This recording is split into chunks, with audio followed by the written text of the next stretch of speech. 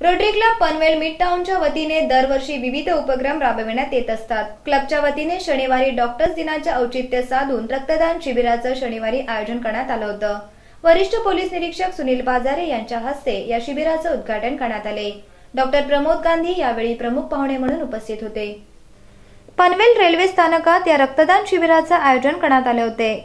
PSI Shri Late railway police Vrushali Kavanpure Rotary Club Panvel mid टाउनचे president Vilas Kavanpure past president doctor Vaibhav Thakkar secretary Siddhant Patkar Sanjay Jain Harmesh तन्ना यांच्यासह मान्यवर यावेळी उपस्थित होते.